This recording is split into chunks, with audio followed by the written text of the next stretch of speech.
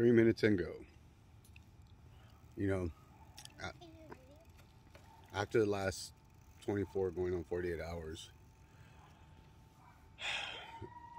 you know, especially when you see one of your children struggling and you want to fix the situation, but you have to allow them their own journey because it's kind of like their first first real test in adulthood, and you have to have faith that your child will do the right thing, and they are. And it's hard, but it's also scary as a parent because you want to, you know.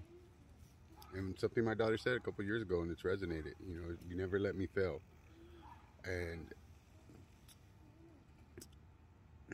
it's just tough, you know. This morning, I, me and my mini mini wanted we're supposed to watch a movie, and he just got bored, and it just made me feel like, why am I working so hard, so much? I'm trying to build this life for them, and I'm missing parts of their life because I'm always on the road, or I'm always at work, or I'm always trying to to build, you know, love wins to have a social imprint and change the world, and you know, I'm missing the most important parts of their world, and. Uh,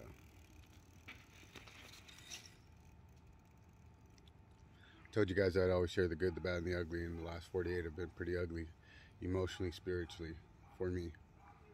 Because I feel helpless, I'm scared, and I'm just trying to hold it together long enough to get to the next moment. Because, like I tell you guys all the time, you know, sometimes it's second by second, and today and yesterday were second by second.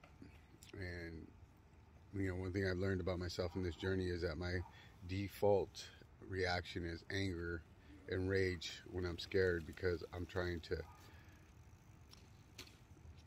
mask how I'm feeling and also scare the other person to back off. But this isn't something or someone I can scare. It's an emotion that I have to deal with and get through to the other side. And by doing that, hopefully, I'm being a, an example to my children to follow and I have to just be a part of the moment and allow it to to unfold the way it's going to.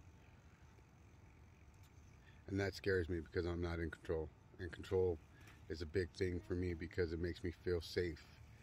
And sometimes being not in control is the safest thing for me because if left to my own devices, I will destroy something in the efforts to thinking that I'm protecting it.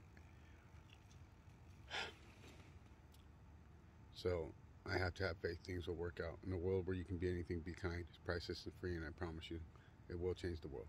One random act of kindness at a time.